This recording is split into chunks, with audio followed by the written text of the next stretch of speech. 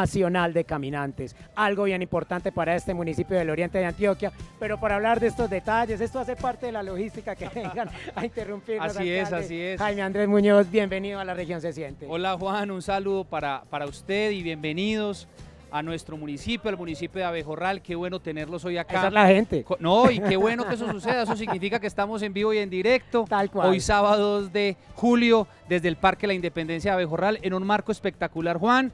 Y pues qué bueno tenerlos a ustedes aquí con sus cámaras para que todo el país, todo el departamento de Antioquia conozcan la transformación de Abejorral. Precisamente, usted está de local en este momento siendo el anfitrión de un gran evento como lo es en este momento para el país, como es el Encuentro Nacional de Caminantes. Habíamos hablado que, tiene, que esperaban mil personas, pero creo que tienen más de mil en este momento. Cuénteme cómo está todo este tema que viene desde el jueves prácticamente. Vea Juan, desde el lunes pasado están llegando caminantes de todo el país.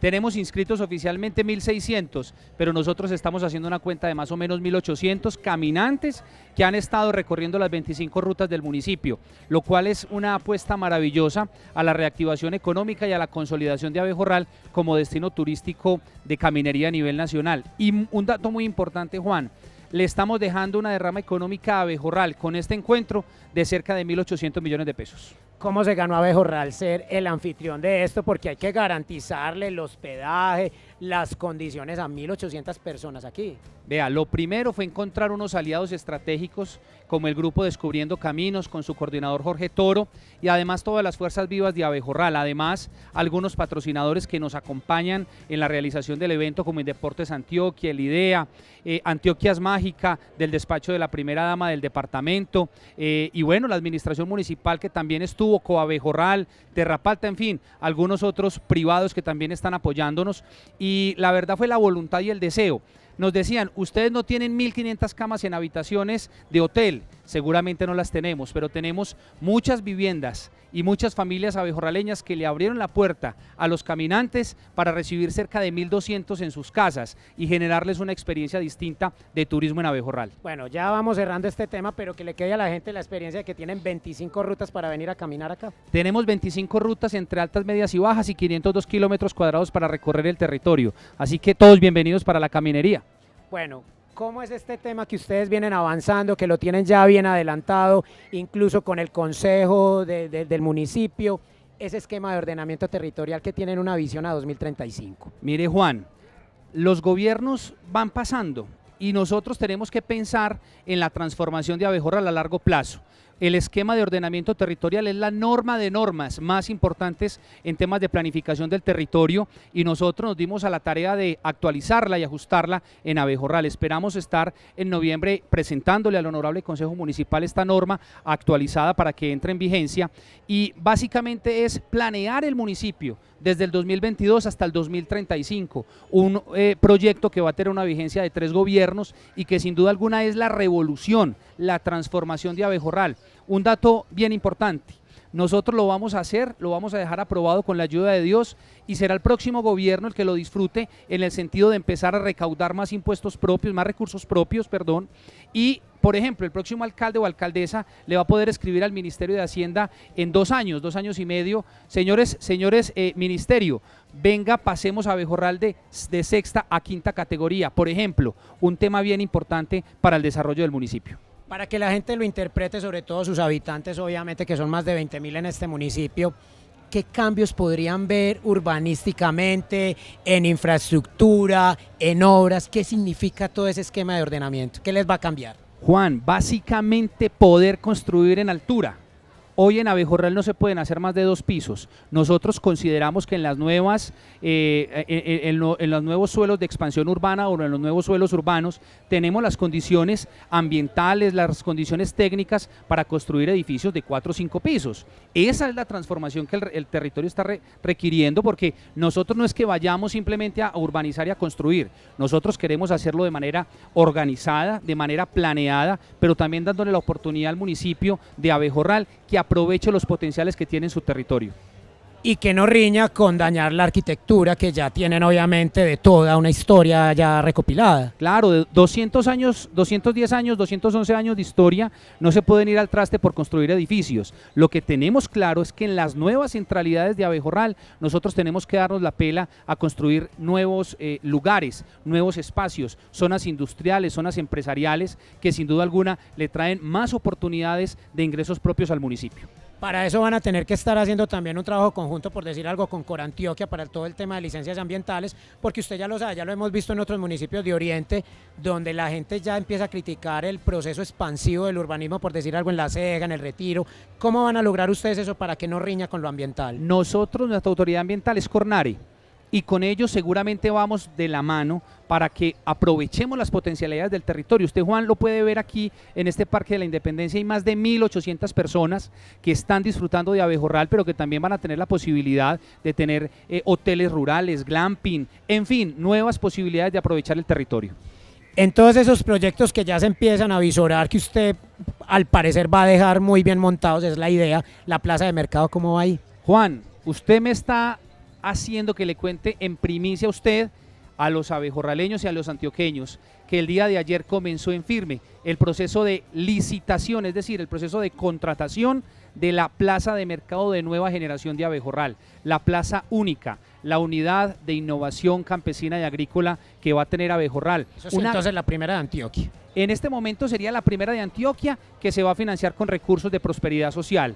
Las que ya arrancaron son con recursos propios de los municipios, con el apoyo de la gobernación. La nuestra es hasta ahora la única que ha comenzado el proceso de contratación, que está financiada con el gobierno nacional. Y qué bueno poderle contar esto a los abejorraleños, a los campesinos. Juan, Abejorral hace mucho tiempo no tiene un lugar digno para que los campesinos vendan sus productos. Eso ha hecho que se desmotiven en la siembra de algunos productos y nosotros desde que llegamos al gobierno nos hemos dado la tarea de eso, de que los campesinos tengan un lugar digno donde vender sus productos, mejorar los ciclos cortos de comercialización, tener una plaza que le ayude a la gastronomía, al turismo, al emprendimiento y eso es la plaza de mercado de Abejorral, la plaza única con una inversión de 3 mil millones de pesos que ayer viernes primero de julio arrancó su contratación. Usted me contaba algo bien importante también del tema de la plaza.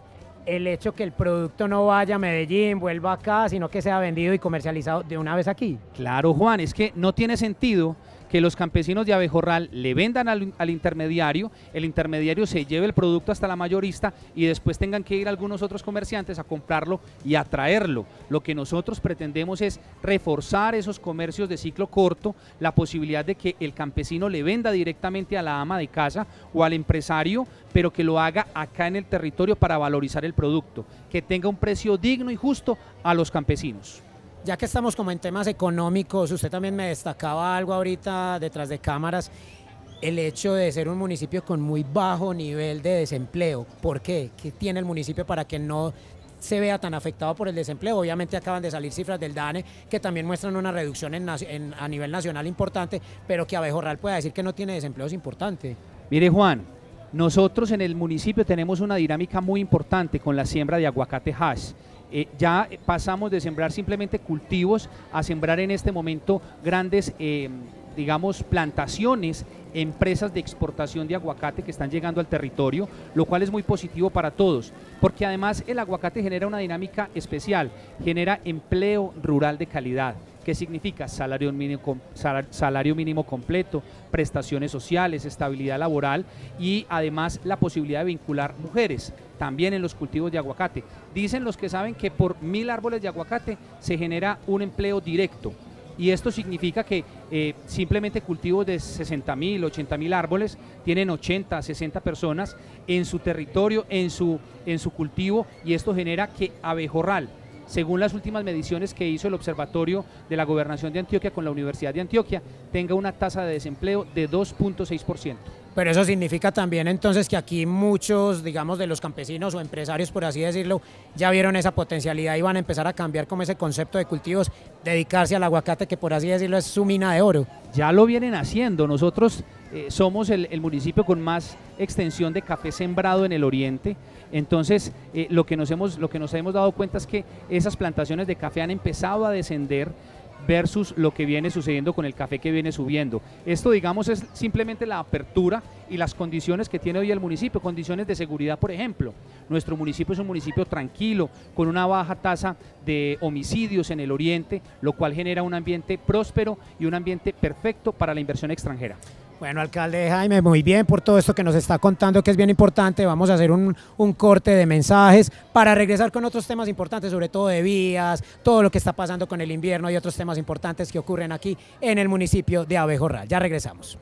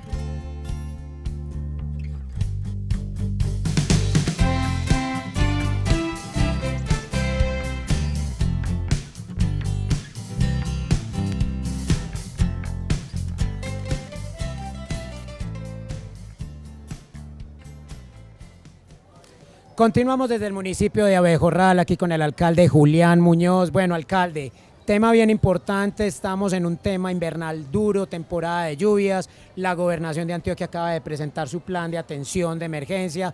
¿Cómo está el municipio? Porque igual ya venía trabajando igual todo este tema de atención, pero también tenían que trabajar obviamente el tema de pavimentación de vías rurales, sobre todo, ¿cómo van en este momento? Juan, Abejorral no es ajeno a la problemática que vive el país en materia de dificultades de la red vial terciaria de manera especial. Sin embargo, pues hemos hecho todos los esfuerzos que han estado en nuestras capacidades para tratar de tener al menos en condiciones de transitabilidad la mayoría de las vías terciarias. Hemos encontrado aliados muy importantes como las comunidades, como las empresas que están asentadas en el territorio y por supuesto la gobernación de Antioquia. Juan, un elemento que hay que tener en cuenta, nosotros tenemos casi 450 kilómetros entre secundarias y terciarias. Es imposible con las capacidades del municipio tenerlas en condiciones dignas. Sin embargo, hacemos esfuerzos importantes y lo vamos a seguir haciendo. La gobernación acaba de darnos unas alternativas de mejora de la red vial secundaria y terciaria. Hemos tenido priorizadas para la intervención en el segundo semestre de las vías Abejorral La Unión, Abejorral Santa Bárbara, Abejorral La Ceja y Abejorral Sonsón, que son las secundarias. Y con la maquinaria propia del municipio y una solicitud que le hemos hecho a la gobernación, vamos a intervenir las terciarias. Precisamente con ese plan que acaba de presentar, eh, de pronto con el IDEA, o usted me contaba, de pronto van a pedir una máquina, con eso estarían pues digamos medianamente para poder mitigar las problemáticas venideras. Vamos a pedirle una retroexcavadora, de hecho ya lo pedimos, la pedimos esta mañana. Esta retroexcavadora lo que nos va a permitir es reforzar el eh, kit de maquinaria amarilla que tenemos en el municipio. Seguramente sigue siendo insuficiente, Juan, y nosotros gran parte del año hemos tenido que tener un, un kit adicional contratado. Hoy tenemos dos, eh, por ejemplo, dos frentes de obra. Uno se encuentra en la vía Achagualar y Naranjal, y el otro se encuentra en la vía Abejorral Son La Morelia, porque es que realmente las necesidades son muchas y simplemente dejar de quejarnos, simplemente hacer lo que está en nuestras capacidades para que las comunidades sientan la presencia del Estado. Vamos ahora, alcalde Julián, con el tema educativo, que es bien importante. ¿Cómo están ustedes con todo ese plan 2000, el de la atención de las escuelas rurales, obviamente? El plan 2000 fue un crédito que le pedimos al Consejo Municipal por 2 mil millones de pesos. Vamos a mejorar 19 escuelas rurales. Sin embargo, hasta la fecha hemos mejorado 13 rurales. Más 19 que vamos a hacer en el Plan 2000 y venimos trabajando con la Gobernación de Antioquia en ocho proyectos adicionales. De esos proyectos ya están radicados un buen número, esperamos firmar convenio las próximas semanas para temas tan importantes como el Pedro Pablo Ramírez de la Loma, como los materiales para el Manuel Canuto Restrepo, como la intervención en la Escuela del Volcán. Y en las inversiones estratégicas para el año entrante tenemos dos. El primero es la ampliación de la escuela de Santa Ana y el segundo, la primera etapa de una gran intervención que tenemos que hacer en la Fundación Celia Duque en su sede principal. El tema del Parque de la Vida, alcalde. ¿Qué, es, ¿Qué significa para Abejorral ese tema? El Parque de la Vida no es más que la sala de recibo de los abejorraleños. Usted pasó por ahí ahorita. Eso se llama hoy el Parque de la Madre. Nosotros nos hemos soñado un parque distinto, un gran un parque unificador de las familias abejorraleñas y qué bueno hacerlo en, el, en, la entrada del área urbana.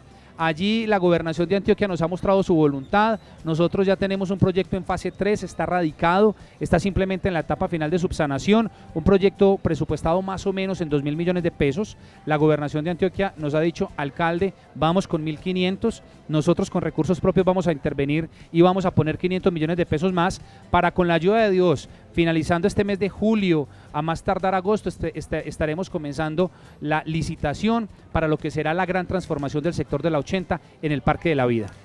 Entonces, obviamente tiene mucha fuerza el tema cultural. ¿Cómo van todos esos procesos culturales? Porque obviamente siempre piden recursos, los necesitan sobre todo los jóvenes. Bueno, el proceso cultural en Abejorral es una realidad. Aquí ya no estamos hablando de proyectos, sino de realidades. Tenemos eh, la sala de experimentación Aurex, que ha permitido tener incluso producciones de series, eh, de series web, como el de la familia Castañeda. Tenemos música, tenemos artes plásticas, tenemos fotografía, tenemos festival de cine, festival de danza, festival de teatro, en fin. Hoy, en este momento, estamos dándole un mantenimiento a la Casa de la Cultura sin embargo, todos esos procesos culturales requieren un elemento indispensable y es escenario. Por eso le hemos dicho al gobernador, al doctor Aníbal, que en Abejorral necesitamos restaurar el Teatro Mesenia. Ya vino, incluso vino, lo visitó, conoce el proyecto y estamos trabajando ya con el Instituto de Cultura que está revisando el proyecto para mirar cómo podemos tener cierre financiero del mismo. Sin lugar a dudas, todo ese tipo de procesos ayudan para el fortalecimiento turístico a la par como con lo que acaba de ocurrir. ¿Por qué ustedes le apuntan a que también el turismo se termina de fortalecer? Es que el turismo, la cultura, la inversión de obras públicas, lo único que genera es mejorar la calidad de vida de los ciudadanos. Y los gobiernos tenemos que pasar por, por, acá, por esto de, de gobernar. simplemente. alcalde. Así es. Eso es lo que ustedes tienen para Así eso es lo que tenemos para mostrarle al mundo. Esas imágenes que ustedes están viendo. Eso es una gran oportunidad para las familias abejorraleñas, para que todos podamos vivir la experiencia de lo que dice el eslogan de turismo de nuestro municipio, Abejorral Mucho Pueblo. Eso que ustedes están viendo es lo que es Abejorral y sus montañas. Los jóvenes aquí cuando terminan de estudiar, ¿cómo están viendo su futuro quedándose aquí o migran y después retornan? ¿Cómo lo está viendo usted, alcalde? Pues Juan, a nosotros, incluso a mí me tocó porque yo soy egresado de acá, eh, yo salí del colegio, me fui para Medellín. Hoy la dinámica ha cambiado un poquito porque mire, hay una gran presencia de universidades en el oriente y con la pandemia la virtualidad también se volvió una realidad en el día a día de los ciudadanos. Sin embargo, necesitamos seguir fortaleciendo esas alternativas para los jóvenes, para que se quieran quedar en el campo. Por eso es muy importante con la inversión en, eh, por ejemplo, cultivos tan importantes como el del aguacate hash, poderle decir a los jóvenes, venga que el futuro tiene, el campo en Abejorral tiene futuro. Y sabemos que muchos se quieren quedar, muchos se han quedado, pero otros simplemente ven la alternativa de ir a la universidad para devolverse a Abejorral y darle un poquito de lo que Abejorral les ha dado pues con todos esos proyectos que nos ha contado, creo que hay bastantes potencialidades. El hecho de que se venga un proceso urbanístico va a generar mucho empleo. Alcalde, precisamente todo este tema de las viviendas, que hemos conocido algunas obviamente de mucho carácter patrimónico, por así decirlo, eh, histórico, casas de más de 100 años, ¿qué se puede decir? ¿Qué conoce sobre ese futuro de esas casas que han tenido tantas dificultades estructurales? Mire Juan, yo soy un amigo del patrimonio. A mí me gusta el patrimonio, sin embargo, en Abejorral hemos tenido algunas dificultades en esa materia. Hemos encontrado, sobre todo en los últimos meses, una gran apertura por parte del Ministerio de Cultura, que ha pensado también en unas alternativas de cómo preservar ese patrimonio en Abejorral. Tenemos eh, por la temporada de lluvias por un descuido histórico algunas viviendas con dificultades en sus cubiertas o techos, algunas ya se han empezado a caer, sin embargo hemos encontrado algunas alternativas, por ejemplo, vamos a comenzar un proyecto de mejoramiento de viviendas patrimoniales. El ministerio nos dijo, lo ayudamos a sacar adelante. Lo segundo, el ministerio nos ha dicho, venga, algunas de esas casas patrimoniales que no tienen dificultades simplemente ayudémosles a que las preservemos. Y aquellas que ya se cayeron pues requieren un tipo de inversión distinta. Estamos buscando alternativas de proyectos para que el ministerio nos pueda aprobar y obviamente se puedan aprovechar estas casas que tienen gran extensión y que además benefician pues a las familias abejorraleñas. Bueno alcalde esta conversación lastimosamente se nos acabó su último mensaje.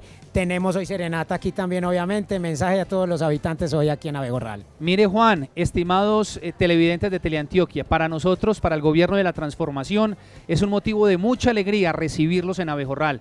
Ustedes están viviendo la magia del, del vigésimo Encuentro Nacional de Caminantes y por ende de la transformación de Abejorral, el evento en materia turística más importante que Abejorral ha realizado en toda su historia. 1.800 millones de pesos de derrama económica, activación de todos los renglones de la economía, de todos los grupos productivos y los abejoraleños estamos felices, no solamente por el encuentro de caminantes, sino también con lo que nosotros vamos a hacer de ahora en adelante y es ejecutar las obras de infraestructura que hemos venido trabajando en estos dos años y medio y que sin duda alguna van a transformar la calidad de vida de los abejorraleños. Yo le pague por estar aquí. Alcalde Juliano. O si quiere nos quedamos hablando aquí todo lo que quiera. Muy contentos que hemos estado aquí con la región Se Siente. Muchas gracias por habernos recibido. Continúen ustedes televidentes con la programación de Teleantioquia. Muy buenas tardes desde Abejorral.